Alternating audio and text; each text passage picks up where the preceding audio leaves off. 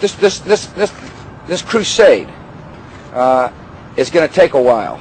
Hallo, moin moin und herzlich willkommen zu einem neuen Video von Jörg Joggler 66 Stunde der Wahrheit. Heute am Montagabend, den 10. September 2018, habe ich mich um kurz nach 8 eingefunden über Skype mit meinen Brüdern Michael und Viktor aus Deutschland, um das letzte und abschließende Kapitel des Buches Hinter den Diktatoren, den Drahtziehern auf die Schliche zu lesen. Das, äh, den Drahtziehern auf der Schliche. Das ist ähm, Heute der 33. Teil dieses Buches und ich weiß jetzt schon, dass wir mit einer Lesung nicht hinkommen. Wie viel es insgesamt werden, weiß ich nicht. Freuen würde ich mich, wenn es sieben würden, dann kämen wir auf 40 in total. Das wäre mal schön.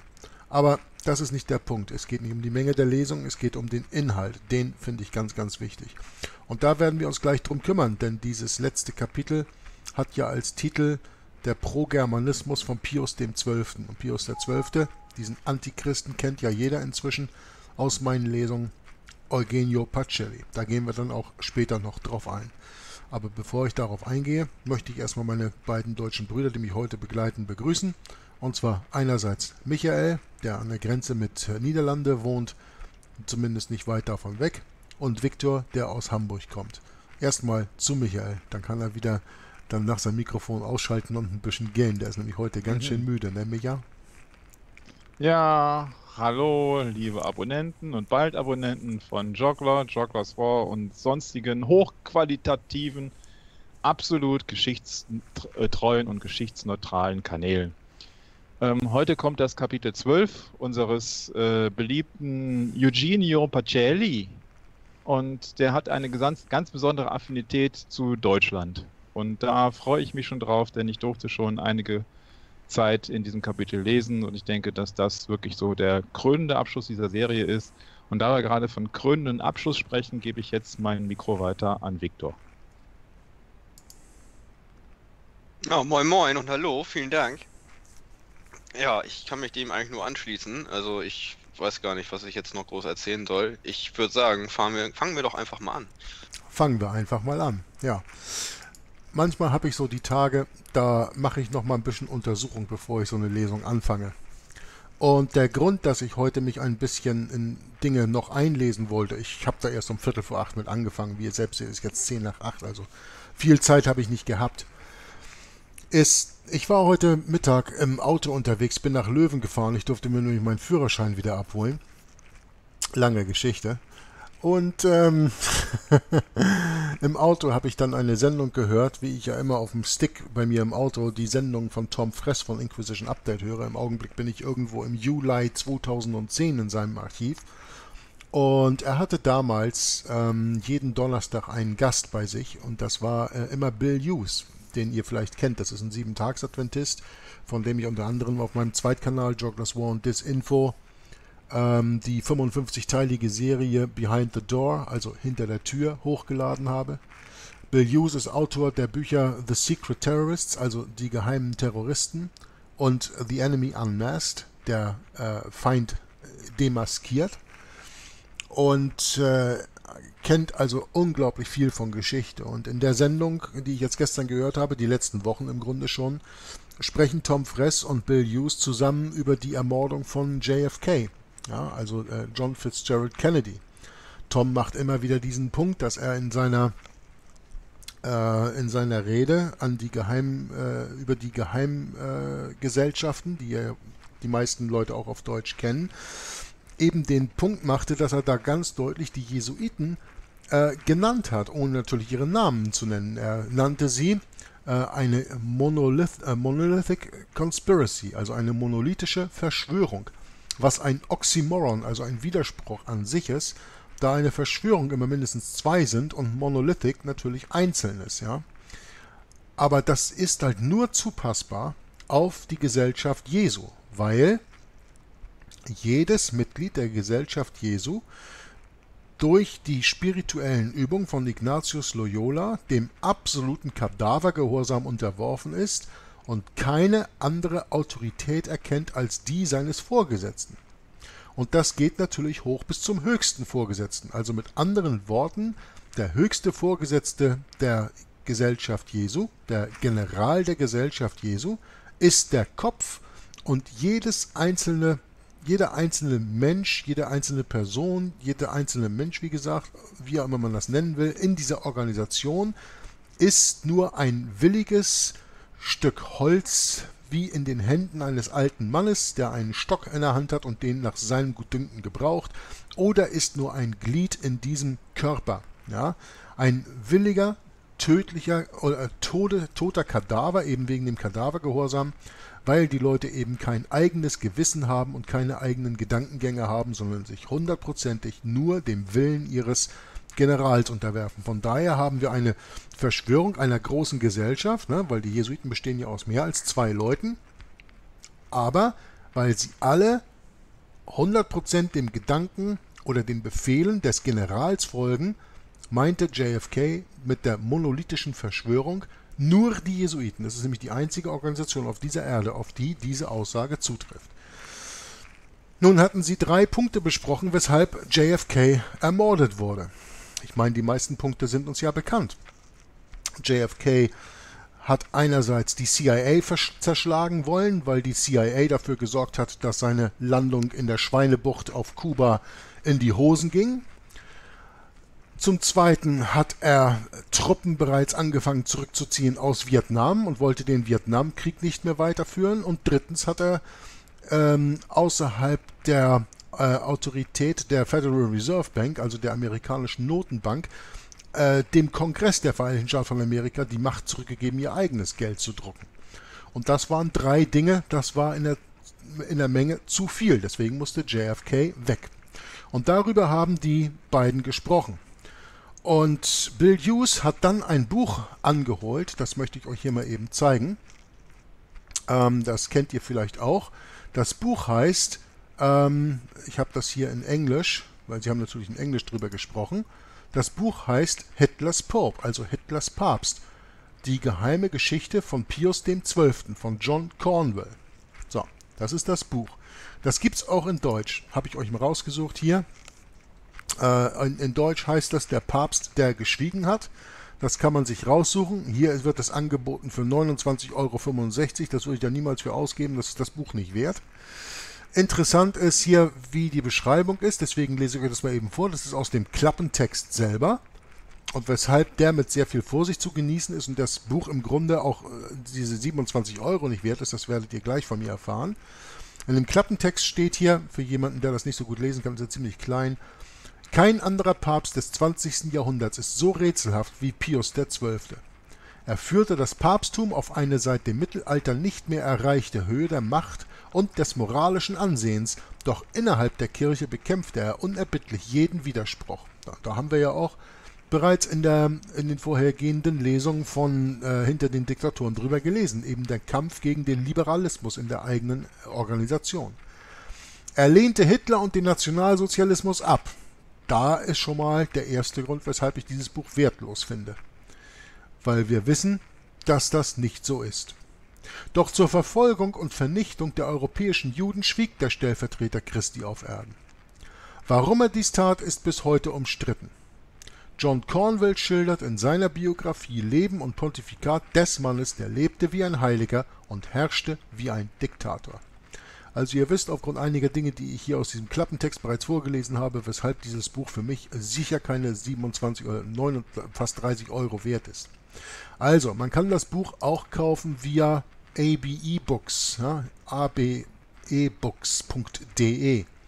Da gibt es das gebraucht ab 1,95 Euro, ja, ähm, 19 Exemplare, 19 gebraucht ab 1,95. Schicken Sie hier nach Belgien sogar für weniger als 6 Euro. Das werde ich mir vielleicht noch kaufen. So viel ist es vielleicht noch wert. Ja. Ähm, also, das kann man sich auch in Deutsch besorgen unter diesem Titel. Und dann habe ich mir mal äh, Wikipedia angeschaut, um etwas über den Autor zu erfahren, weil ein Buch ist ja immer nur so viel wert wie sein Autor. Ne? So, und über John Cornwell kann man hier eine ganze Menge lesen im Wikipedia, im Englischen, wie ihr seht. Ja, da stehen einige Dinge drin. Das, was hier blau ist, das müsst ihr euch nicht angucken. Das habe ich eben mit Google Translate übersetzt. Das lese ich gleich vor. Das ist alles, was man im Englischen über John Cornwell auf Wikipedia findet. Es gibt natürlich noch andere Seiten, wo man vielleicht auch noch findet, aber viel habe ich nicht gefunden in der Kürze der Zeit. Und jetzt gehe ich mal auf Wikipedia Deutsch. Und was sehen wir da? Das ist alles. das bisschen. Im Vergleich zum Englischen also so gut wie keine Information. Ja? Interessant hierbei, Cornwell verfasste auch mehrere Entgegnungen aus christlicher Sicht auf Richard Dawkins. Richard Dawkins ist ein Evolutionswissenschaftler äh, äh, an der Universität von Oxford. Da werden wir mehr darüber lernen, wenn wir in Romanismus und die Reformation gehen. Und wir werden uns mit dem Emanzipationsakt und der Oxford-Bewegung beschäftigen, ähm, was da der Hintergrund ist. Da ist jedenfalls dieser Richard Dawkins her. Das ist das einzige Positive, was ich über den Cornwell sagen kann, dass er äh, Entgegnungen aus christlicher Sicht auf diesen Evolutionstheoretiker verfasste. Nun, ich habe hier einen Teil halt aus dem Englischen übersetzt, weil ja wie gesagt das Deutsche ist ein bisschen wenig, ne, was man da so drin findet. So, und das habe ich gemacht in der Hoffnung, um euch anzeigen zu können, ähm, was der Cornwall für eine Person ist, zumindest ein wenig. Und das ist bitte gerade eben mit dem äh, Google-Übersetzer gemacht worden. Also das ist jetzt nicht grammatikalisch besonders wertvoll, das sage ich jetzt schon mal vorher. Ja? Diese Biografie von Cardinal John Henry Newman, ja, wovon spricht der, wovon spricht der Jörg denn jetzt? Ja, wenn wir uns nochmal hier die englische Seite angucken von äh, John Cornwell, dann lesen wir, dass er zum Schluss ein, ein, Brief, ein Buch geschrieben hat über hier Newmans Unquiet Grave, also Newmans ähm, nicht schweigendes Grab, ja, der widerspenstige Heilige. Das ist hier äh, John Henry Newman, von dem wir bereits in alle Wege führen nach Rom gelernt haben, das war ein konvertierter, vom Protestantismus konvertierter Katholik, der dafür gesorgt hat, dass die katholische Bewegung unglaublichen Aufschwung bekam Mitte des 19. Jahrhunderts in England. John Henry Newman war verantwortlich für die Einteilung Englands in diese Diözesen überhaupt, also die Aufrichtung der Schattenregierung, als die römisch-katholische Kirche in England wieder an Landgewinn zu versucht hat. Und darüber hat er ein Buch geschrieben. Und darüber geht diese kleine Übersetzung hier. Diese Biografie von Cardinal John Henry Newman, die 2010 von Continuum veröffentlicht wurde, fiel mit dem erneuten Interesse an dem Theologen und religiösen Führer des 19. Jahrhunderts zusammen, als Folge seiner Seligsprechung während des päpstlichen Besuchs von Antichrist Papst Benedikt XVI. in England und Schottland. Philosoph Anthony Kenny in der Times Literary Supplement schrieb, dass Zitat Newmans unruhiges Grab eine wesentliche Errungenschaft ist John Cornwell hat die Aufgabe übernommen, eine Biografie von Newman zu schreiben, um sein Leben der weitgehend säkularen Öffentlichkeit verständlich zu machen, die in ein paar Wochen die Seligsprechung im Fernsehen erleben kann er hat eine Via Media zwischen der Hagiographie von Meriol Trevor und dem Spott von Lytton Strachey verfolgt und hat ein Leben geschaffen, das lesbar, sympathisch und vernünftig ist. Insgesamt ist es ihm gelungen Aufbau und lebendiges Bild von Newmans, also ähm, das, das ist halt grammatikalisch beschissen übersetzt hier, Entschuldigung, aber äh, ne?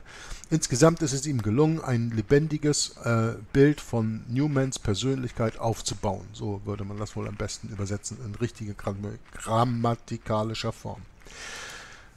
Da wir wissen, was John Henry Newman für eine Person war und jemand, der ein Buch schreibt über Papst Pius XII. und dann hier schon im ähm, im Klappentext darin steht, dass er Hitler ab und den Nationalsozialismus ablehnte, und hier wir dann wissen, dass er auch noch so ein Buch hier geschrieben hat, ich glaube, dann können wir uns vielleicht sogar die 6 Euro oder 7 Euro für das Buch sparen. Ich finde das Buch also nicht besonders empfehlenswert. Nun, ich kann natürlich über so ein Buch nicht wirklich urteilen, bevor ich es nicht gelesen habe, und ich habe es noch nicht gelesen. Vielleicht werde ich es mir kaufen, vielleicht schickt es mir jemand zu. Also ich bin eigentlich sehr zögernd, um da auch nur einen Euro dran auszugeben. Aber wenn man sagt, ich mache dem Jörg mal eine Freude, vielleicht als Nachschlagewerk ihm das Buch zu schicken, kostet ja nicht viel. Bitte, dann nehme ich das gerne an. Lasst es mich nur vorher wissen. Nicht, dass mir jetzt 20 Kopien zugeschickt werden, weil das ist ja auch nicht die Absicht. Aber wenn mir jemand eine Freude machen will, kann er mich ja gerne fragen, ob ich es inzwischen habe. Und ansonsten kann er mir gerne schicken. Das ist jetzt kein Aufruf dazu, aber wenn mir jemand eine Freude machen will, kann er es machen. Der Punkt ist der folgende. Wenn dieser Autor, der das Buch von Pius XII. schreibt, also über den Hitlers Papst, ja, wie wir jetzt gleich in der ähm, in dem äh, letzten Kapitel von den Diktoren lesen werden. Pro-Germanismus von Antichrist Papst Pius XII. Ja? Wenn wir darüber lesen und wir wissen, dass derselbe Autor hier ein, ich sage jetzt mal zwischen Anführungszeichen vorsichtig verherrlichendes Buch von John Henry Newman geschrieben hat, einem der schlimmsten äh, Kardinäle ein Konvertit aus dem Protestantismus des 19. Jahrhunderts in England und hier ein lebendiges Bild von Newmans Persönlichkeit schafft in dieser Biografie, dann ist das für mich ein Autor, dem ich mit seinem Hitlers Papst nicht besonders traue. Aber heute Mittag haben halt, als ich da im Auto saß und mir das angehört habe, von Bill Hughes und Tom Fress, die beiden darüber geschnackt und unter anderem auch dieses Buch erwähnt. Sie haben auch noch ein anderes Buch erwähnt, aber da will ich jetzt nicht drauf eingehen, weil wir wollten ja hinter den Diktatoren anfangen zu lesen. Nur als Einleitung wollte ich euch das hier mal eben wissen lassen. Ähm, weil das natürlich das Thema Pius XII., ich hörte das heute Mittag im Radio und sagte, ist ja toll, heute Abend habe ich eine Verabredung, um äh, das zwölfte Kapitel hinter den Diktatoren zu lesen und dann passt es ja, dass ich ein bisschen was über das Buch hier erfahre. Aber Bill Hughes hat nicht viel über den Inhalt des Buches preisgegeben und ähm, wie gesagt, es ist im Grunde auch nicht viel wert. So, ich lasse die Seiten jetzt mal, bevor ich sie schließe, vielleicht kann ich nachher noch die Links hier mit in das PDF einarbeiten, dann kann man das selbst nachschauen dann werde ich die damit veröffentlichen, dann kann man das machen. Ansonsten brauche ich die nicht. Ich habe hier nur die Bibel vorbereitet, falls wir mal ein Bibelzitat einblenden müssen. Und dann würde ich sagen, äh, würde ich jetzt gerne anfangen mit der Lesung. Es sei denn, dass meine beiden Brüder Viktor und Michael, die ich natürlich vorher nicht informiert habe von diesen Recherchen, die ich ja gerade jetzt vor dem Telefongespräch abgeschlossen habe, ähm, dazu eine Bemerkung haben. Nein, wir wollten, also ich möchte anfangen. Du möchtest anfangen. Und Viktor? Also ich möchte, dass du anfängst. ja, ja, okay. Das habe ich schon verstanden. Und Viktor? Ja, ich bin auch sehr interessiert daran, was uns denn jetzt hier offenbart wird in dem Buch hinter den Diktatoren, den Drahtziehern auf der Schliche. Gut, dann fangen wir halt an mit diesem fantastischen letzten Kapitel. Und ihr seht gleich hier vorne dran, äh, hinter dem Titel, ist ein kleiner Stern markiert, weil hier gibt es eine Fußnote in dem Buch und die finde ich doch sehr wichtig, dass wir uns das eben äh, äh, verständlich machen. Dieses Kapitel 12 ist ein Artikel, der wurde veröffentlicht in The Converted Catholic Magazine im April 1943. Der Autor, wie kann das? Das Buch ist doch von 42. Ja, ja, aber wir wissen inzwischen, dass wir hier diese das Original zur zugrunde liegende englische Original, das Victor übersetzt hat, war, glaube ich, ein Nachdruck von 1945 oder 46, wenn ich mich richtig erinnere. Stimmt's, äh, Victor? Ja, das ist aus der, ich glaube aus einer ja, 1945er ähm, ja, Druckauflage. Ja, ja, Nachdruck, ne? Also Ersterscheinung war 42 und dann wurde es halt in verschiedenen äh, in, in, verschiedenen äh, Ausgaben äh, veröffentlicht. Und das, was wir haben, ist von 45 und deswegen kann dieser Artikel von 43 ist also irgendwie Zukunft und spricht davon. Nur interessant ist, der Autor dieses Artikels, ein sicherer Pierre Lourson, und da habe ich also eine Stunde im Internet gesucht, um was über den rauszufinden, habe ich nicht gefunden, war für viele Jahre in einer verantwortlichen diplomatischen Position mit dem Völkerbund verbunden. Ja, der Völkerbund ist ja die, ähm, äh, im Grunde die Vereinten Nationen, die nach dem Ersten Weltkrieg gegründet wurden. Ne? Wie man es im Englischen nennt, League of Nations. Ja? Das ist der Völkerbund, das ist der Vorläufer der Vereinten Nationen, die dann nach dem Zweiten Weltkrieg gegründet wurden. Unterschied ist, in dem Völkerbund waren die Vereinigten Staaten von Amerika kein Mitglied und in den äh, Vereinten Nationen sind sie Mitglied und zwar von Anfang an. Über die Mitgliedschaft in den Vereinten Nationen, da könnt ihr euch freuen, da gibt es nachher noch eine ganze Menge drüber zu lernen in diesem Artikel. Nun interessant ist, deswegen habe ich eine kleine Fußnote dabei gemacht, dass dieses Kapitel, das zwölfte Kapitel, hier also nicht von Leo Herbert Lehmann geschrieben wurde. Und über den Autor, Pierre Lausson, konnte ich im Netz halt nichts erfahren.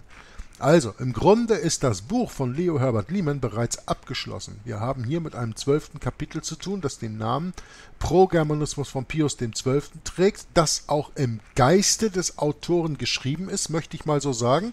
Und ich denke, dass mindestens Victor mir damit zustimmen kann, der das Buch ja inzwischen genauso gut kennt wie ich. Das ist von der Schreibweise und von der Aufbauart mehr oder weniger, passt es perfekt in das Buch hinein.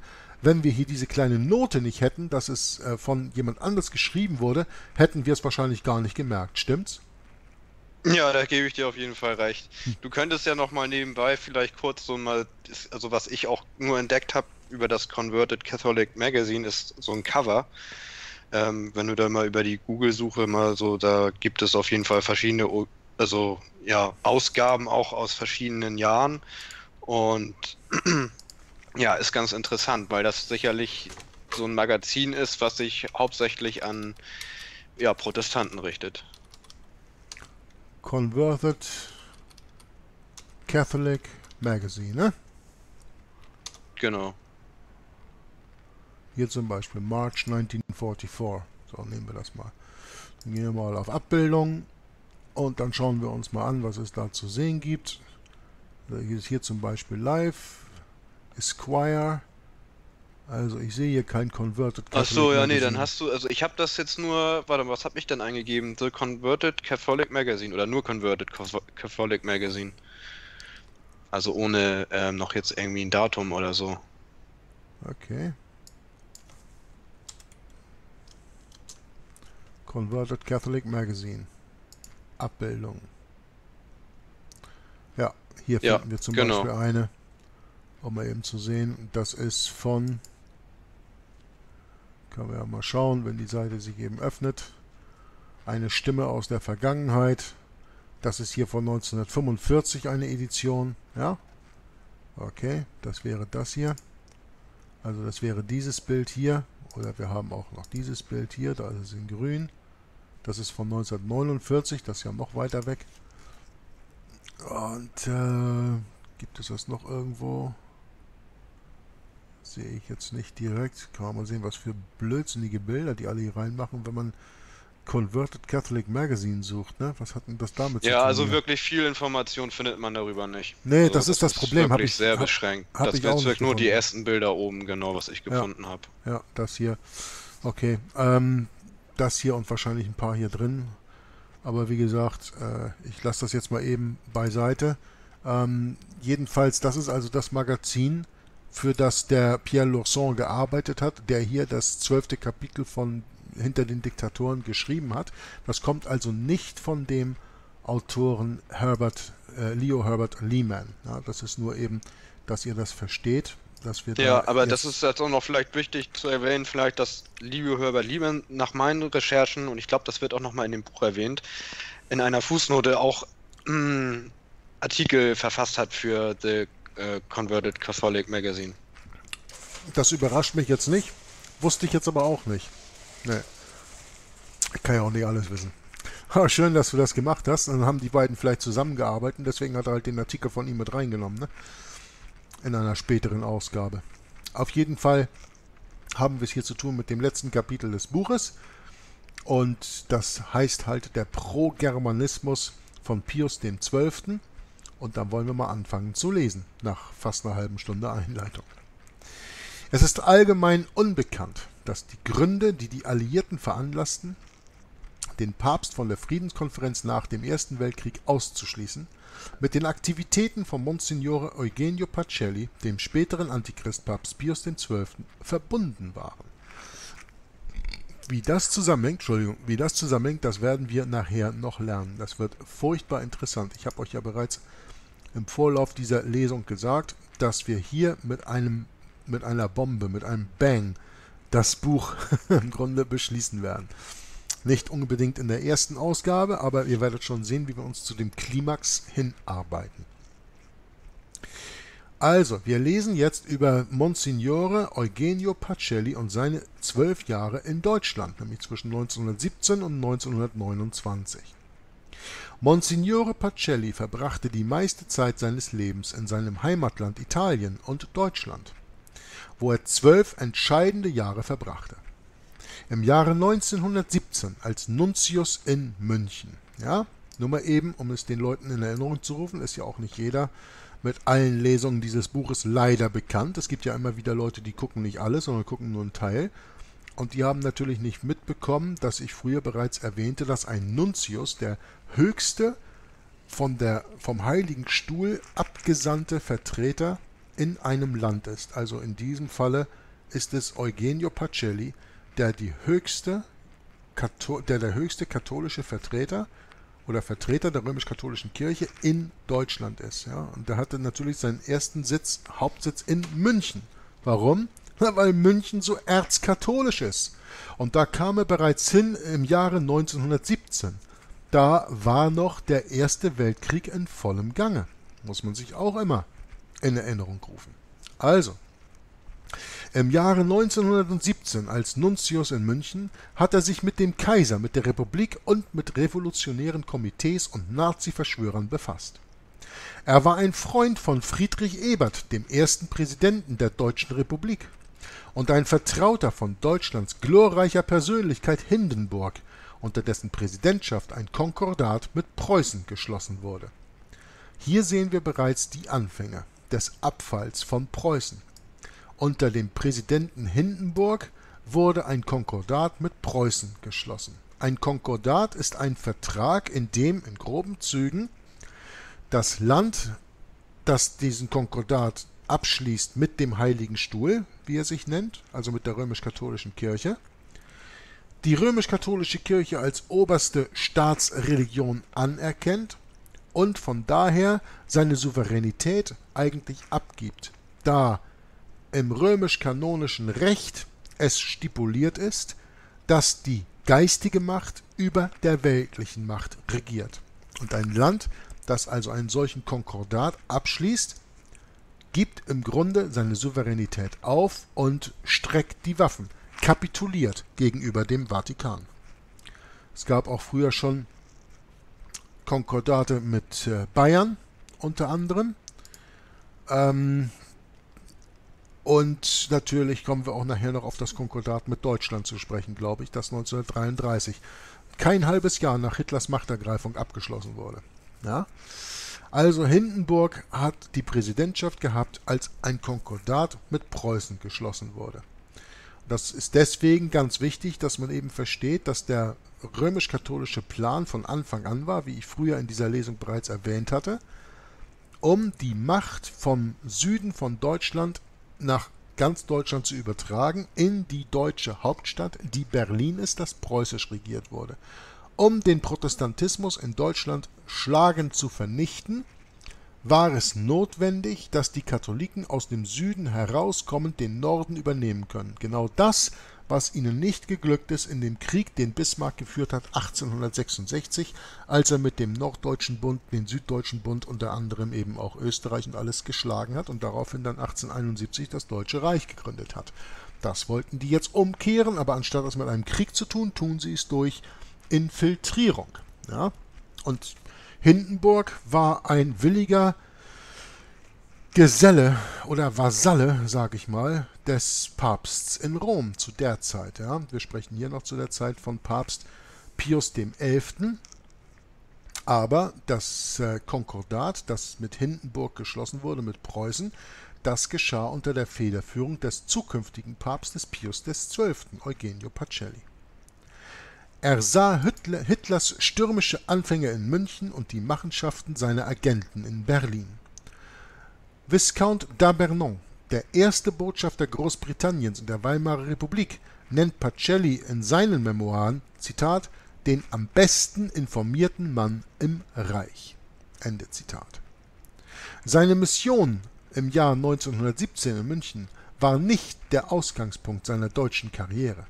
Ich habe noch einen Kommentar. Oh ja, bitte.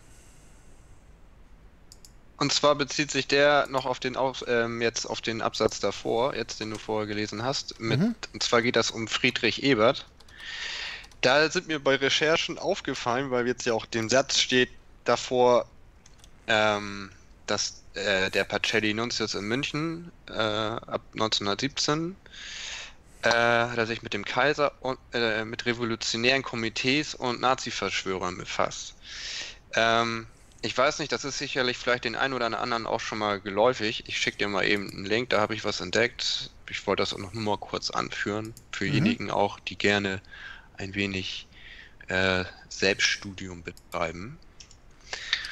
Und zwar ist das ein Artikel von Klaus Gietinger, und es geht da um den Mord von Rosa Luxemburg und Karl Liebknecht. Mhm. Ich kann das nur mal einmal kurz vorlesen. Ja, bitte. Und äh, das ist auch nur jetzt der Anfang, die ersten beiden Absätze. Also die Überschrift lautet, die Spur der Mörder führt in die Reichskanzlei. Rekonstruktion einer Bluttat vor 80 Jahren zum Gedenken an Karl und Rosa. Der Mord an, Karl, äh, an Rosa Luxemburg und Karl Liebknecht in der Nacht des 15. Januar 1919 ist der folgenschwerste politische Mord in der deutschen Geschichte. Gleichwohl werden die Umstände dieser Bluttat immer noch in seltsames Grau gehüllt. Liest und hört man in den Medien nur etwas von nicht näher bestimmten in Anführungsstrichen gesetzt Angehörigen eines Freikorps oder in Anführungsstrichen Soldat, Soldateska. Wer waren die Freikorps? In wessen Auftrag handelten sie? Geschah alles irgendwie beiläufig, ohne Plan und Ziel? Oder war es ein Komplott, das vielleicht bis ganz nach oben reichte? Diese Frage stellte ich mir, als ich vor neun Jahren zu recherchieren begann. Bald versank ich in einem Meer aus Fälschung, Vertuschung und Lügen. Und doch filterte sich die Wahrheit heraus. Zitat, schießen auf jeden, der vor die Flinte läuft. Zitat Ende. Kaum hatte die Revolution die Reichshauptstadt Berlin erfasst, verbündete sich am 10. November 1918 Generalleutnant Gröner von der obersten Heeresleitung mit dem frisch gekürten neuen Reichskanzler Friedrich Ebert zum Zwecke der Bekämp in Anführungsstrichen Bekämpfung des, des Bolschewismus. Ja, so viel dazu. Und äh, Jörg, du, du bist ja, kommst ja aus Blankenese, da gibt es ja eine Kaserne, die haben sie Clausewitz. Die haben sie nach dem Reichspräsident Friedrich Ebert benannt. Ja, gibt's in Blankenese. Ich kenne die Clausewitz-Kaserne in Blankenese. Ja, dann haben sie die wahrscheinlich nach dem umbenannt.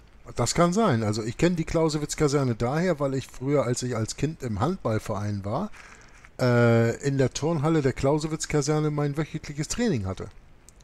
Aber jetzt bin ich nicht mehr ganz sicher, ob die wirklich in Blankenese liegt oder ein bisschen weiter Richtung, ähm, Richtung Ostdorf schon, an der Ostdorfer Landstraße liegt. Das, da bin ich mir jetzt nicht mehr ganz sicher. Das wäre dann schon außerhalb von Blankenese selbst. Das will ich jetzt nicht mehr beschwören. Dafür ist das zu lange her, ehrlich gesagt. Aber das äh, ist durchaus möglich, dass es da natürlich eine derartige äh, Kaserne gibt. Wenn du das sagst, dann bezweifle ich das überhaupt nicht. Das mal eben, das mal eben nebenbei dazu. Ja. Interessant ist doch, wenn man diesen Artikel hier sich anschaut, was du jetzt gerade liest, es geht hier ja um die Spur der Mörder führt in die Reichskanzlei. Es geht um den Mord an Rosa Luxemburg und Karl Liebknecht. Rosa Luxemburg und Karl Liebknecht waren Kommunisten.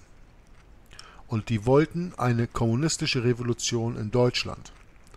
Und wenn man das jetzt natürlich in dem richtigen Zusammenhang versteht, dann sieht man, dass hier im Grunde verhindert wurde, dass in Deutschland dieselbe ich sag jetzt mal provokativ bolschewistische Revolution stattgefunden hat, wie damals in Russland.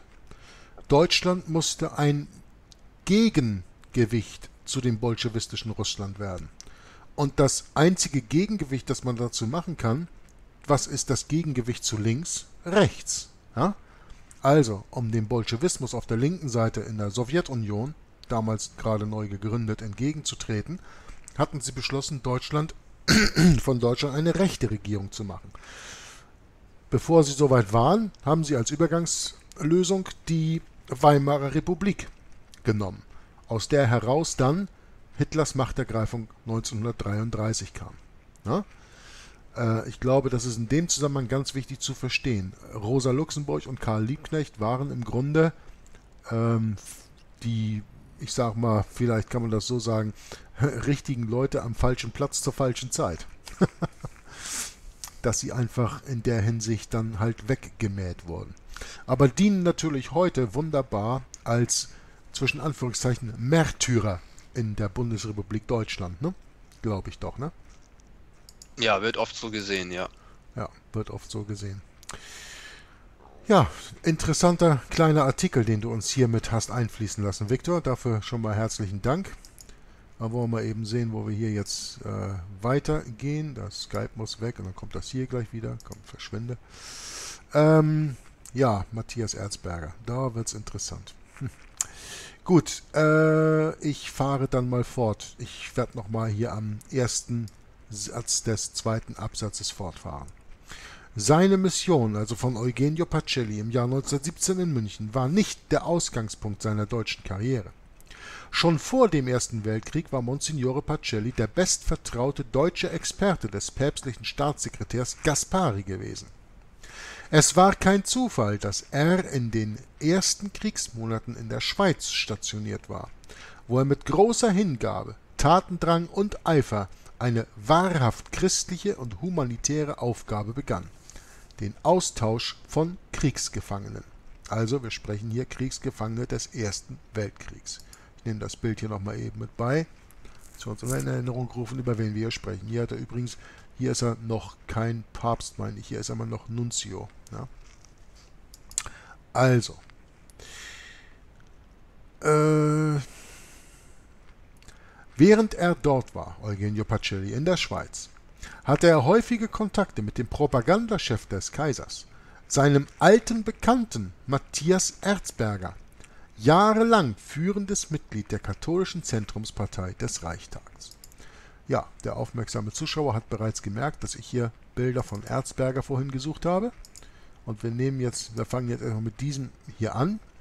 Matthias Erzberger, lernen wir gerade, der war also Propagandaminister in der oder Propagandachef des Kaisers äh, in der Zeit oder vor dem Ersten Weltkrieg dieser Matthias Erzberger, von dem wir hier lesen aus dem Buch von Edmond Paris, Die verborgene Geschichte der Jesuiten, ein Zitat.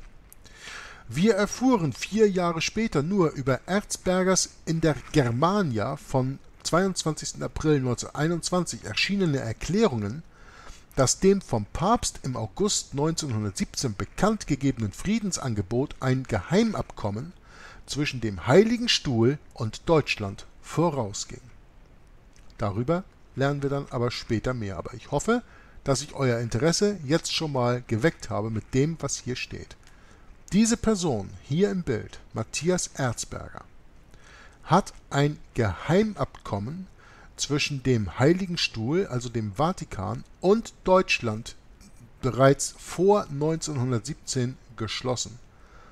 Und deswegen ging der Papst nicht auf ein Friedensangebot 1917 ein. Darüber erfahren wir aber später noch mehr.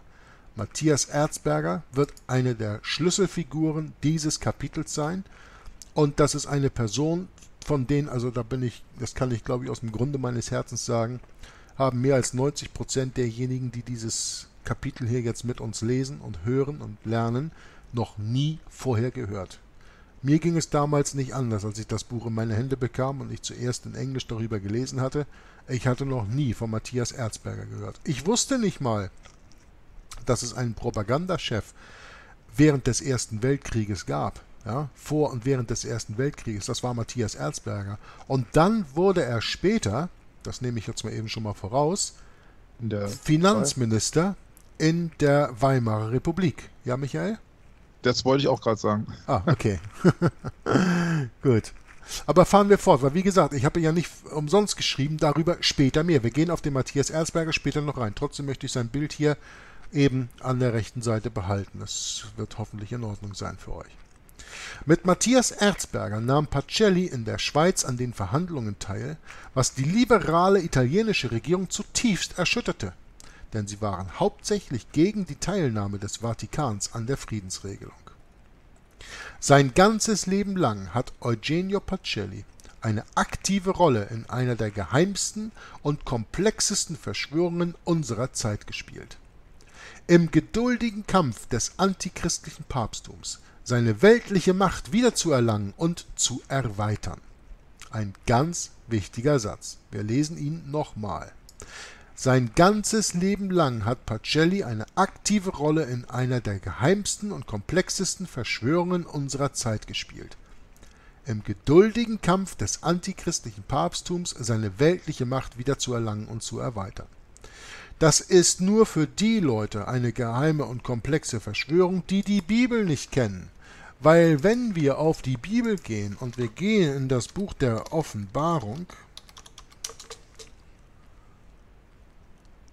Kapitel 13, dann lesen wir unter anderem aus dem Tier aus dem, aus dem, über das Tier aus dem Meer und wir lesen über das Tier aus der Erde. So. Und das Tier, das ich sah, ich fange jetzt nicht im ersten Vers an, sondern hier, glich einem Panther, und seine Füße waren wie die eines Bären und sein Rachen wie ein Löwenrachen, und der Drache gab ihm seine Kraft und seinen Thron und große Vollmacht. Also wir sehen hier ein Tier, das sich aus drei anderen zusammensetzt. Einem Panther oder Leoparden, äh, ein Bär und ein Löwe. Das heißt, das sind die drei vorhergehenden Reiche in der richtigen Reihenfolge. Leopard, Griechenland, äh, Bär, Medo-Persien und äh, Babylon, der Löwenrache. Und der Drache gab ihm seine Kraft und seinen Thron und große Vollmachten. Wir wissen bereits aus dem vorhergehenden Kapitel 12 und ich glaube auch aus Kapitel 9 in der Offenbarung, dass der Drache der Teufel ist, Satan. Ja? Und ich sah einen seiner Köpfe wie zu Tode verwundet, und seine Todeswunde wurde geheilt. Oh, seine Todeswunde wurde geheilt. Und die ganze Erde sah verwundert dem Tier nach. In der Bibel steht also ganz deutlich drin, dass diese geheime und komplexe Verschwörung im Grunde nichts anderes ist, als die weltliche Macht des Papstes zurückzuerobern. Also ist das nur eine geheime und komplexe Verschwörung für diejenigen, die die Bibel a. entweder nicht kennen oder b. nicht glauben. Für alle anderen ist das keine Geduld, ist das keine Verschwörung. Übrigens, das ist auch mal ganz interessant, das könnt ihr ja selbst mal googeln, da habe ich jetzt keinen Bock drauf. Wenn ihr den Lateranen Vertrag von 1929 euch anschaut, da gibt es in Amerika in demselben Jahr, nicht exakt an dem Tag, aber in demselben Jahr, innerhalb der nächsten Wochen, amerikanische Zeitungen, und das könnt ihr in Google Pictures noch raussuchen, wo die tatsächlich schreiben als Schlagzeile die Wunde ist geheilt.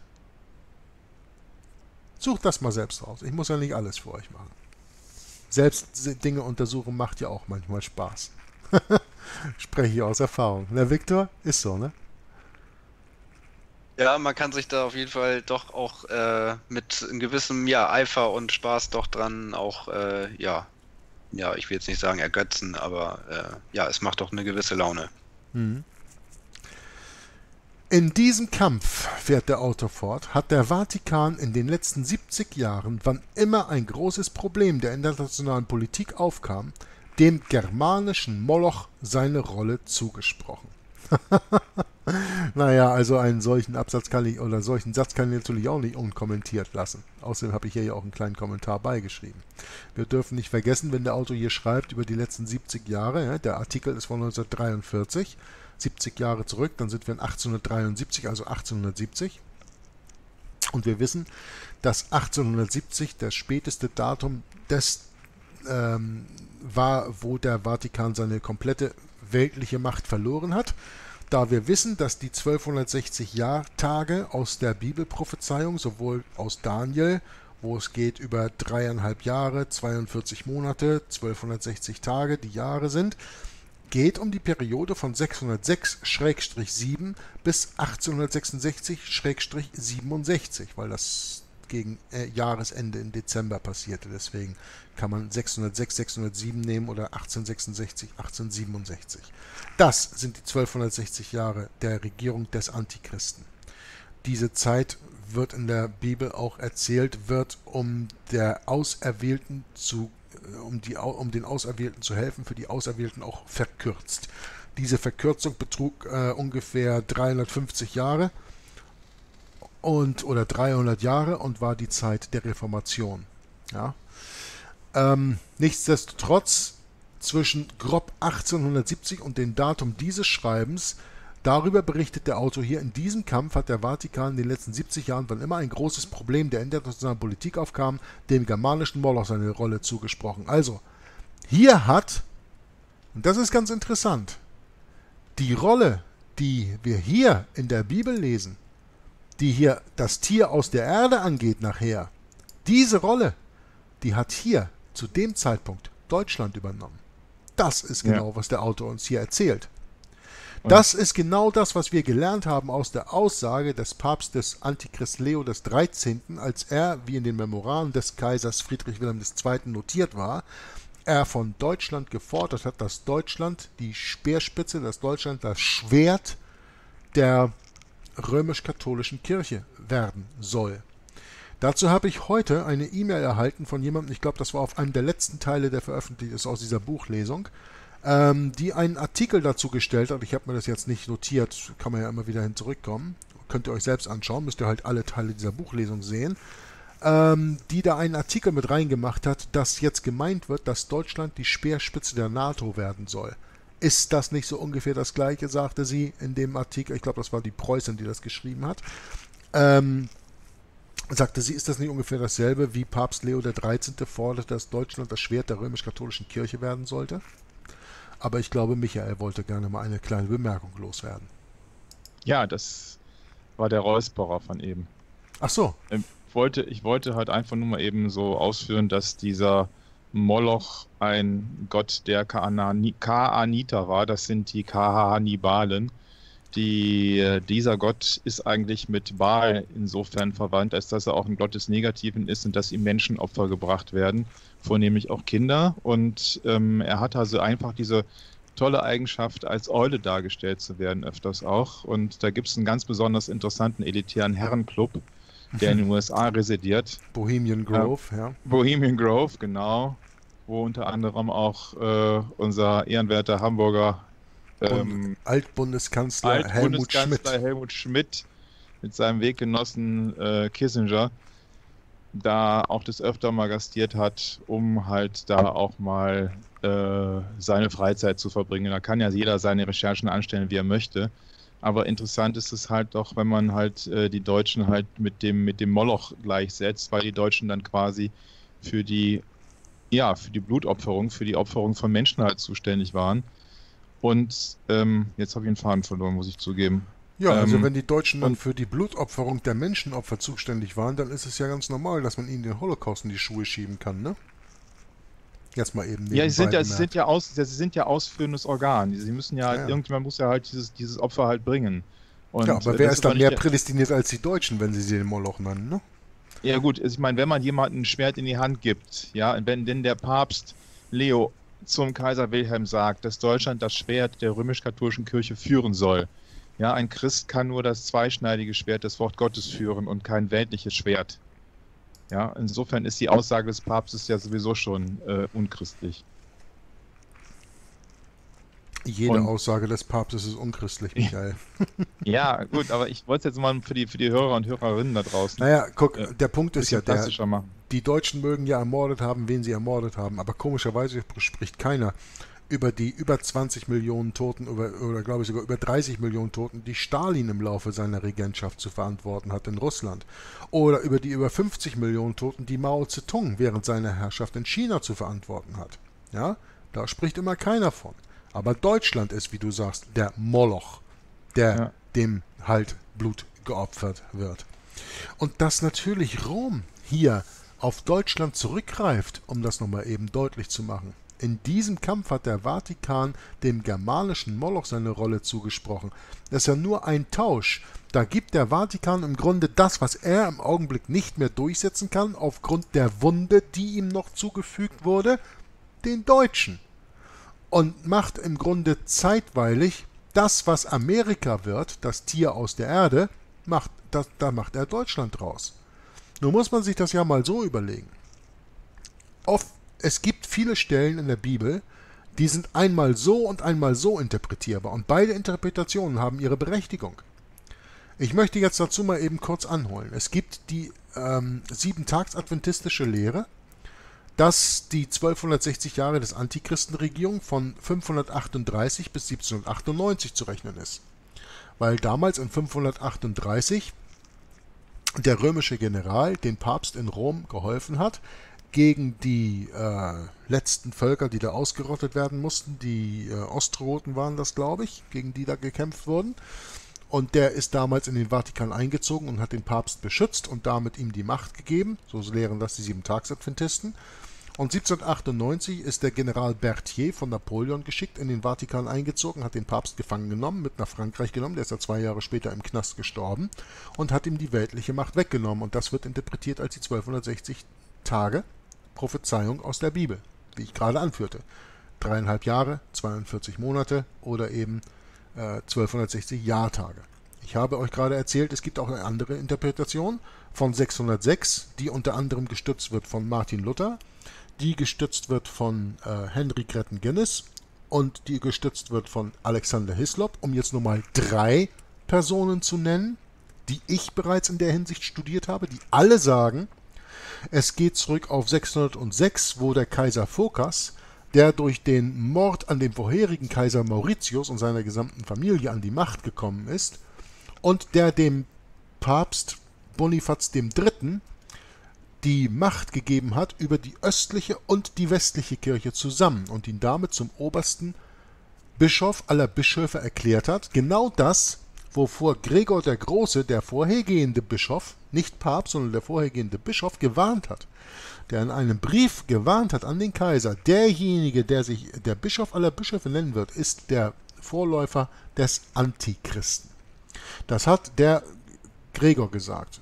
Wenn ihr das verstehen wollt, dann müsst ihr zu meiner Lesung Romanismus und die Reformation gehen.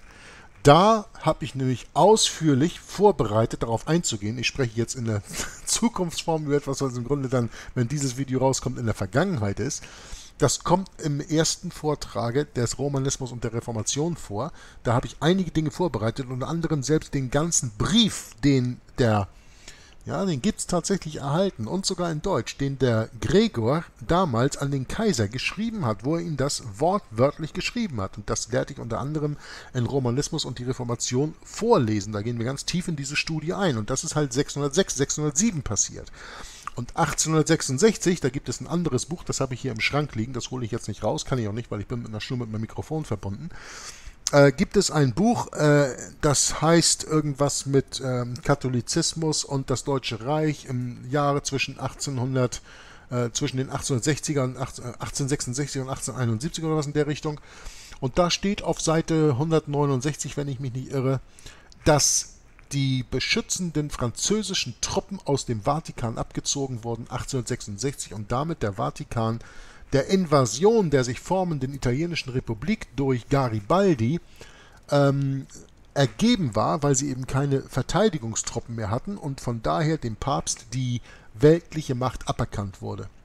Worauf er sich dann in den Vatikan eingeschlossen hat, dann sein Konzil, sein Lateranes Konzil 1870 halten konnte, wo er dann seine spirituelle Macht, die er wohl noch hatte, gebraucht hat oder auch missbraucht hat unter anderem dafür, um dafür zu sorgen, dass der Papst ab sofort, wenn er offiziell von seinem Ton spricht, ex cathedra unfehlbar spricht. Die Unfehlbarkeit des Papstes wurde 1870 auf dem ersten Lateranen, also auf dem ersten Vatikanischen Konzil äh, beschlossen.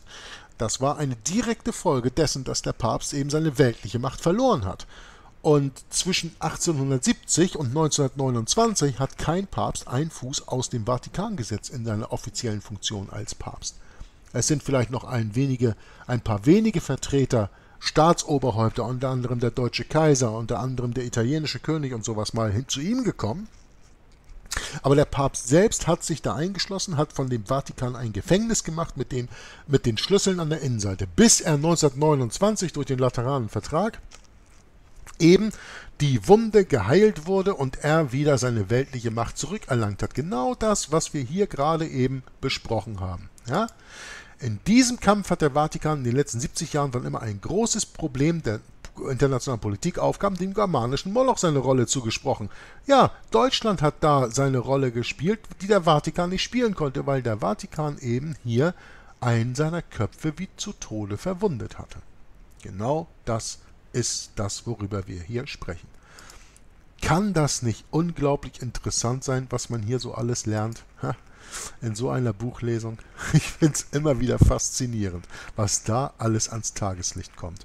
Aber ich möchte gerne mal eben fragen, ich bin ganz sicher, dass sowohl Michael als Viktor hier sicher eine Bemerkung oder eine Frage haben zu dem gerade eben von mir erwähnten. Wer möchte erst? Großes Schweigen. Der Norden bitte zuerst. Erst bitte der Norden. Erst der Norden. Viktor. Bist du da noch? Habe ich auch mich gerade wieder stumm geschaltet. Tut mir leid. Das ist kein ähm, Problem, das sollst du ja auch, aber du musst dich natürlich einschalten, wenn du sprechen willst. Besser. Ne? Ja, es gibt halt zwei Stummschalter bei mir, deswegen. ähm, ja, also ich finde, natürlich, da hast du vollkommen recht. Also wenn man sich jetzt die Offenbarungsgeschichte in der Bibel ähm, ja durchliest und das jetzt mit dem, was du gerade vorgelesen hast, das gegenüberstellt, dann ja, finde ich das eine sehr schlüssige und äh, runde Analyse. Also stimme ich dir da auf jeden Fall zu. Danke. Michael? Ich bezweifle nicht, dass der Vatikan auch die Offenbarung lesen und deuten kann. nee, der Teufel kennt die Bibel besser als wir drei zusammen, ne? Ja, eben. So, und deswegen glaube ich, spielt er dieses Spiel und die Leute, die in dem Spiel auch aktiv mit beteiligt sind, denke ich mir, sind aufgrund der lange, der, der langen Zeitdauer, diese ganzen Prophetien, die laufen ja schon seit Jahrtausenden. Ähm, vielerorts meiner Meinung nach sogar teilweise nicht nur Katholiken, sondern auch Atheisten, denn die glauben ja gar nicht an den richtigen Gott. Ja, sie glauben, glaube ich, auch an die Macht, die ihnen selber vom Tier verliehen wurde. Und ich glaube, da liegt halt die, groß, die große Gefahr drin, dass die ganzen sogenannten Würdenträger in, der, in den Kirchen, und ich spreche jetzt noch nicht mal von der römisch-katholischen, aber die ganzen Würdenträger in der Kirche sich als erhaben fühlen und als Gott gleich. Und damit machen sie eigentlich den Fehler, den, ähm, den der Teufel in Gestalt der Schlange, der Eva schon gesagt hat, ihr werdet sein wie Götter. Das wäre mein Kommentar dazu. Ja, schau. Das, was ich gerade eben gesagt habe, aus Offenbarung 13 über das hier, das Tier aus der Erde, was wir ja eigentlich verstehen als ein Tier aus einer wenig bevölkerten Gegend kommen sein, Amerika sein. Ich habe gerade eben euch das Verständnis versucht beizubringen, dass ich gerade eben während dieses Lesens hier, während dieses Lesens dieses Absatzes oder dieses Satzes hier verstanden habe, dass in der Zeit hier Deutschland eine Rolle zugesprochen wurde, die dann später, so wie es in der Prophezeiung auch drinsteht, durch Amerika übernommen wurde. Mit anderen Worten, der Vatikan wollte erst, dass Deutschland diese Rolle spielt, die hier Amerika spielt, aber da die biblische Prophezeiung fehlerfrei ist, hat sich das geändert. Und wo hat sich das geändert? Erinnert ihr euch, dass wir, ich glaube letztes Mal doch, darüber gesprochen hatten, über das Zitat des römisch-katholischen Erzbischofs James E. Quigley von 1903, wo er sagt, innerhalb von 20 Jahren wird dieses Land die Welt regieren. Könige und Kaiser werden vorbeigehen und die Demokratie der Vereinigten Staaten von Amerika wird ihren Platz einnehmen. Wenn die Vereinigten Staaten die Welt regieren, dann wird die römisch-katholische Kirche die Welt regieren. Zu dem Zeitpunkt, wo wir das hier aber lesen, ist es noch nicht so weit.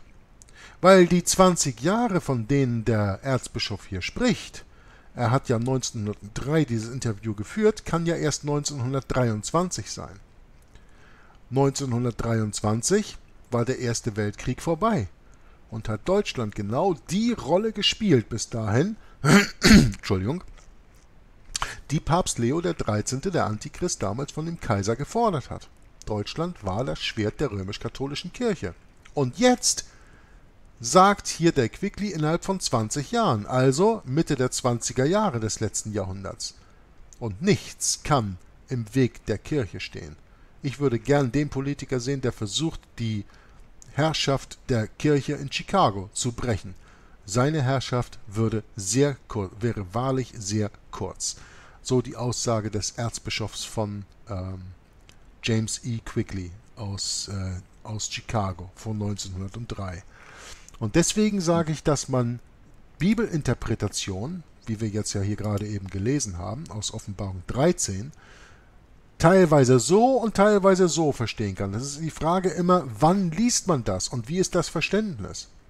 Und wenn wir jetzt hier mit diesen Fakten äh, bekannt gemacht werden, wie der Autor hier schreibt, dass in diesem Kampf der letzten 70 Jahre, wann immer ein großes Problem kam, der germanische Moloch die Rolle zugesprochen hat, die Rolle auszuführen, die der Vatikan aufgrund dessen, dass er hier die tödliche Wunde, die tödlich erscheinende Wunde erhalten hat, nicht ausführen konnte, dass hier Deutschland die Rolle übernommen hat. Und dann ist Amerika zu der Macht aufgestiegen, die es heute noch ist.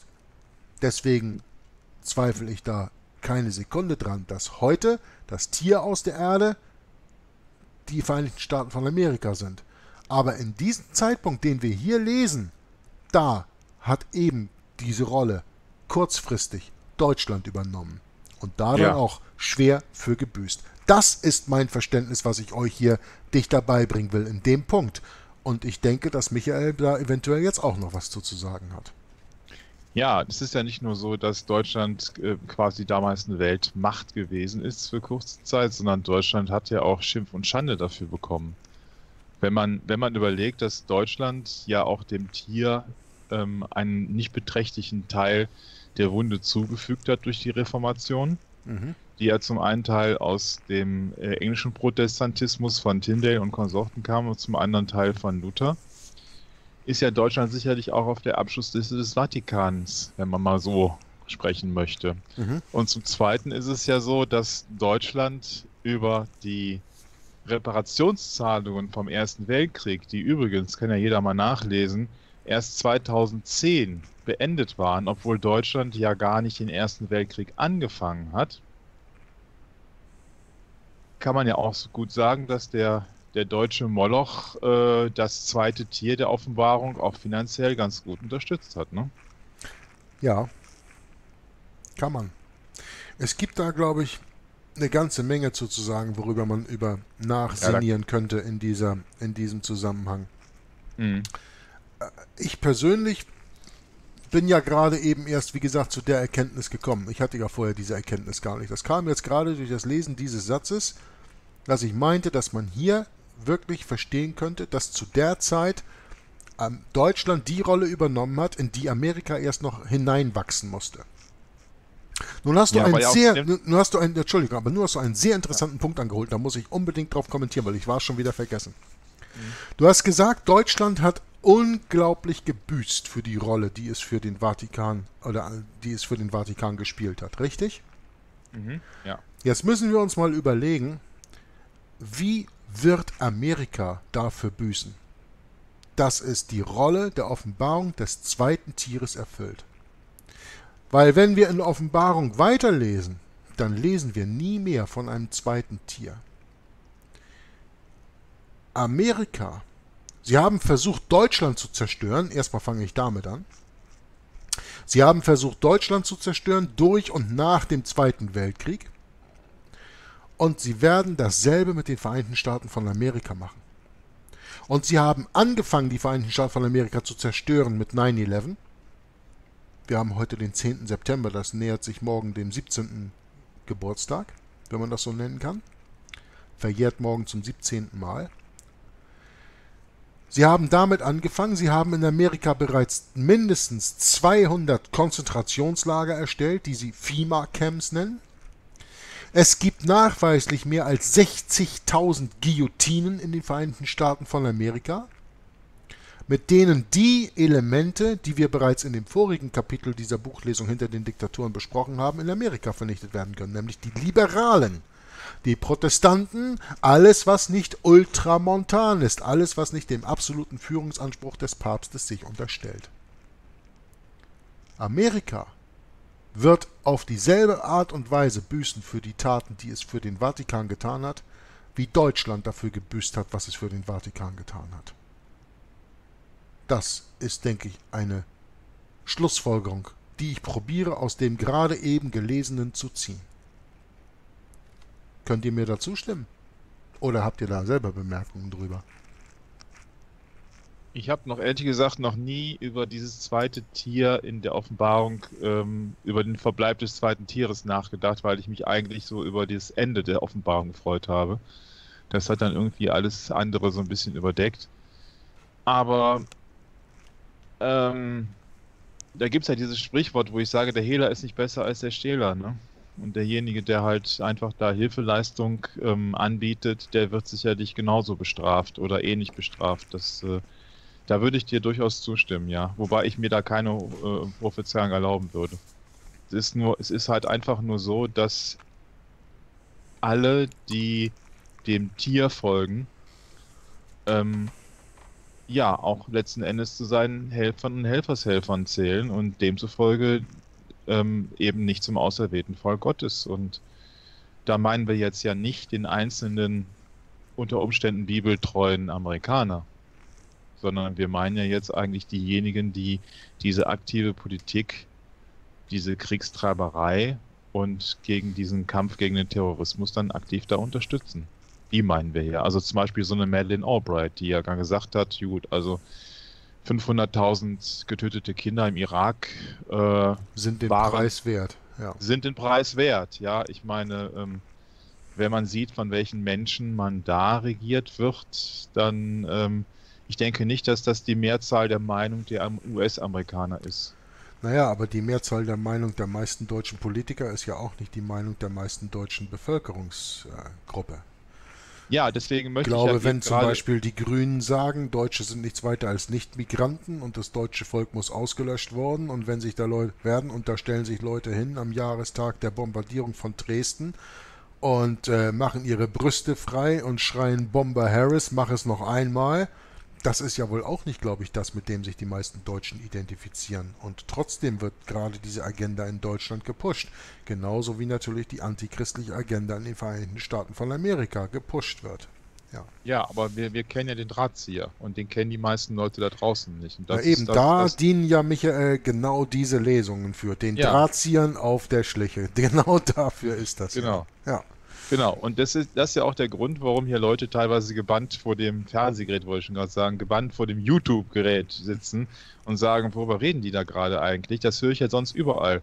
N äh, gar nicht. Und das ist eben das Problem. Die Lüge, die man jetzt beispielsweise morgen zu dem Jahrestag von 9-11 hört, äh, die wird halt tausendmal wiederholt und die glauben halt viele einfacher als die Wahrheit, die nur einmal ausgesprochen wird. Und da muss man sich halt einfach nur ein bisschen in jeder Richtung schlau machen und schon begreift man eigentlich, dass immer die skrupellosesten Menschen eigentlich nach oben gespült werden und die die leisen, ehrlichen Menschen, die eigentlich aufrichtig sind, die sind, stehen eben nicht im Rampenlicht, sondern die helfen halt einfach ganz unentgeltlich, ehrenamtlich, liebevoll, familiär, wie auch immer.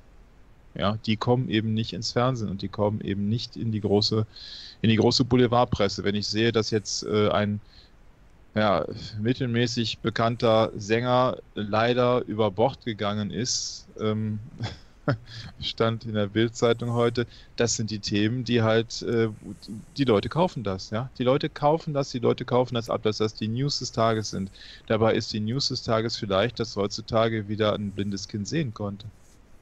Oder dass jemand eine zweite Niere gespendet hat für seinen Nachbarn. Das wäre die News des Tages. Mal etwas Positives, mal etwas Christliches, mal etwas Nächstenliebenmäßiges. Aber ich hätte einen ganz tollen, ich habe einen ganz tollen Satz, den habe ich mir eben schon ausgesucht, ähm, weil wir kommen ja irgendwann langsam zum Ende dieser Lesung, glaube ich. Ich wollte gerade sagen, das könnte jetzt dein Schlusssatz dann vielleicht sein. Ja, deswegen war gerade die Überleitung. naja, ich will nicht sagen, komm zum Ende, nimm dir deine Zeit, aber nein, ich möchte nein, gerne nein, hören, was du abschließend zu sagen hast. Schon, schon klar. Das ist halt einfach, äh, wenn man sieht, dass das Schlimmste auf dieser Welt jemand ist, der von Ideologie zerfressen ist, der also wirklich absolut davon überzeugt ist, was er tut. Und ich bin der Meinung, äh, ich bin der Überzeugung, dass alle sogenannten Führer dieser Welt oder religiösen Oberhäupter dieser Welt, die handeln alle in der Überzeugung, dass sie selber die absolute, absolute Wahrheit haben und dass es dann das absolut Richtige ist. Und ich bin auch der Meinung, dass ähm, unser beknackter Österreicher 1939 von sich davon geglaubt hat, genau das Richtige zu tun, weil er ebenso indoktriniert gewesen ist. Und ich denke, da liegt die ganz große Gefahr. Ich, wir können jetzt Selbstmordattentäter nehmen, wir können jetzt Politiker nehmen, alle Menschen, die Überzeugungstäter sind und die einfach sagen, pass mal auf hier, ich weiß es ganz genau, ich habe das so gelernt, ich habe das so studiert und alle meine Lehrer und alle meine äh, Kardinäle und so weiter sind alle der richtigen Meinung, alle derselben Meinung. Ähm, ich denke, die sind alle völlig davon überzeugt, äh, die Wahrheit zu haben. Und das ist halt das Problem, wenn jemand in einer absoluten Indoktrination ohne selbsttätig Überlegungen anzustellen groß geworden ist. Und da habe ich einen ganz tollen Satz zu von einem meiner Lieblingsschauspieler, und zwar ausgerechnet Götz George. Götz George hat mal in einem Schimanski-Tatort äh, gesagt, ich weiß nicht welchen, aber die Zuschauer oder Zuhörer da draußen über 40 werden das vielleicht noch kennen. Der hat mal Folgendes gesagt. Ähm, es ging sich da um, um, um eine Auseinandersetzung von ihm als Hauptkommissar Schimanski in Duisburg mit irgendeinem ähm, Attentäter oder Kriminellen oder wer auch immer. Und das ist, jetzt kommt der Satz. Der Satz heißt, ihr müsst die Bomben in den Köpfen der Leute zünden, versteht ihr? Nicht unter ihren Ärschen. Nochmal. Ihr müsst die Bomben in den Köpfen der Leute, Leute zünden. Und das ist eigentlich das, was, glaube ich, in dieser, in dieser Lesung hier und in, auch in den vielen Bibellesungen halt einfach versucht wird, den Menschen halt einfach den Kopf auch erstmal klar zu machen von dieser ganzen Indoktrination da draußen, von dieser ganzen ähm, Indoktrination in den Kindergärten, in den Kindertagesstätten, in den Schulen, in den Universitäten, in den Massenmedien, in den Zeitungen und so weiter und so fort. Ja, einfach mal klar sich hinzusetzen irgendwo in Wald und einfach mal zu überlegen, meine Güte, ich bin da eigentlich auf diese Welt gekommen, um Gutes zu tun. Wieso ist denn die Welt um mich herum so schlecht? Aber ich bin der Meinung, man muss dafür erstmal selbst tätig denken können. Und da wir halt hier versuchen, eine alternative, wahrheitsgemäße Geschichtsaufarbeitung hier zu machen und es eine Lesung ist eines Buches, das wir nicht geschrieben haben, sondern das wir nur kommentieren, versuchen wir halt einfach mal eine objektive Sicht auf die Dinge zu geben. Und das ist eigentlich, glaube ich, unser Hauptanliegen. Das wäre mein Schlusswort. Ich hätte es nicht besser sagen können, Michael. Und das ist auch der Grund, weshalb du immer wieder eingeladen wirst, um an diesen Lesungen teilzunehmen. Das war wunderbar vorgetragen, zu dem ich nachher nur noch zwei kleine abschließende Kommentare habe, aber erst erteile ich das Wort Viktor. Ja, danke, vielen Dank. Ähm, war schöne abschließende Worte von Michael, fand ich. Und äh, ja, kann ich mich auch nur dem anschließen und äh, wird jetzt vielleicht noch was jetzt nochmal gesagt zum Schluss. Ähm, fast jetzt, passt jetzt schon wieder fast, finde ich jetzt gar nicht mehr, weil wir uns jetzt schon wieder so in Richtung ein bisschen äh, vielleicht noch abschließend äh, ja, uns nochmal die, die, die äh, Brille der Bibel aufsetzen und ähm, ja, auch äh, jetzt erkennen, beziehungsweise besser erkennen, auch in welcher Situation wir uns befinden.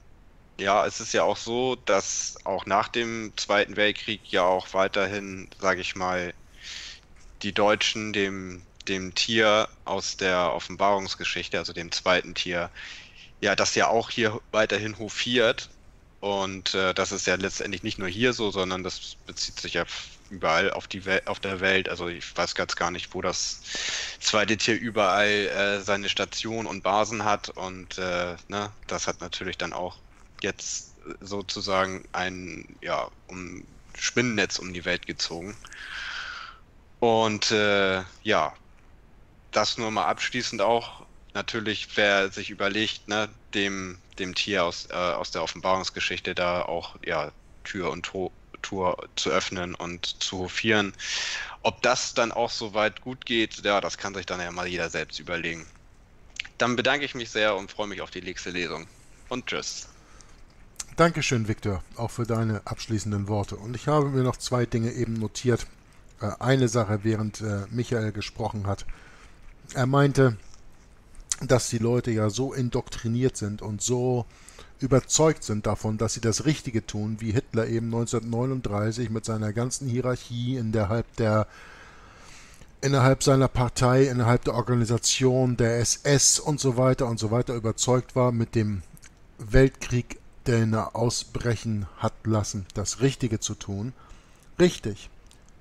Schau, Michael, da gibt es in der Geschichte bereits einige andere Beispiele von, von Leuten, die noch viel schlimmere Dinge getan haben und die ja auch bis in, das Grund, bis in den Grund ihres Herzens von überzeugt waren, die richtigen Dinge zu tun, die Wahrheit zu tun, der Wahrheit zu helfen und dem Gott der Bibel zu helfen, den zumindest das, was sie für den Gott der Bibel halten.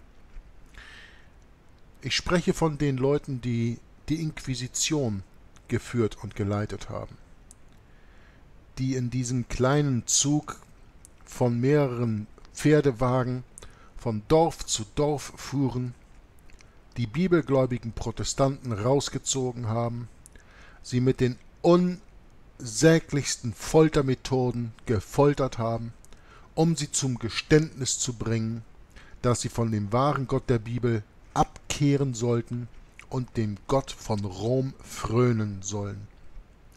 Konvertiere oder stirb.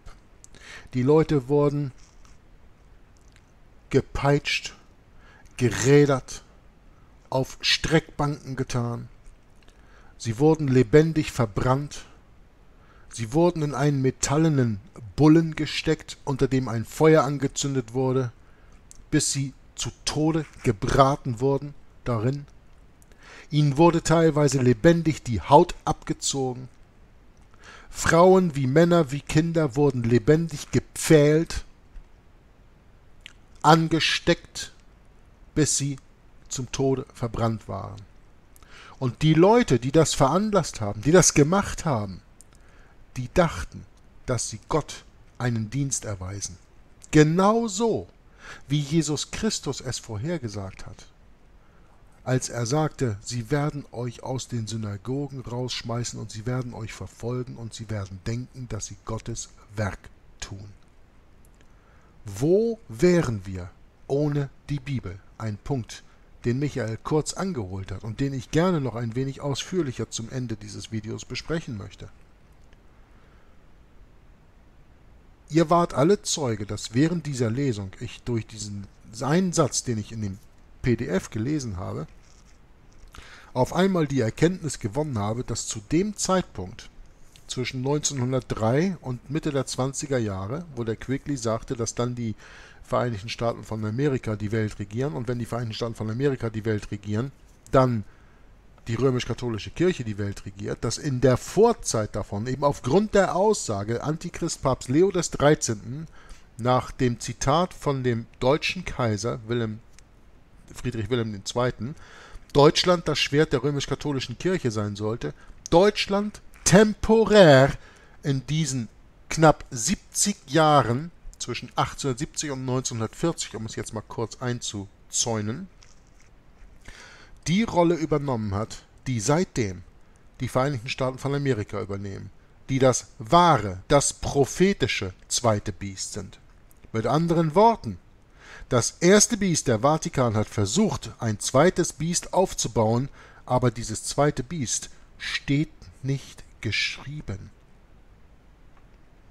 Das zweite Biest, das der Vatikan wollte, selbst mit der Hochzucht von Hitler. Hitler, der den Traum hatte eines tausendjährigen Reiches, so wie es damals bereits das Heilige Römische Reich deutscher Nation zwischen 800 und 1800 gab, der das wieder aufleben lassen wollte für die römisch-katholische Kirche. Im Grunde Deutschland wollte als das zweite Biest fungieren. Das ging nicht. Die Rolle hat Gott einem anderen Land übertragen den Vereinigten Staaten von Amerika. Und das wissen wir jetzt. Und zu dieser Erkenntnis bin gerade eben ich gekommen, während dieser Lesung. Und das ist das Wunderbare, was wir aus dieser Lesung, der ersten, aus dem zwölften Kapitel hinter den Diktatoren, den Drahtziehern auf der, Schli auf der Schliche, äh, behalten sollten. All diese ganzen Geschichtsstudien. Wo wären wir ohne die Bibel? Maranatha.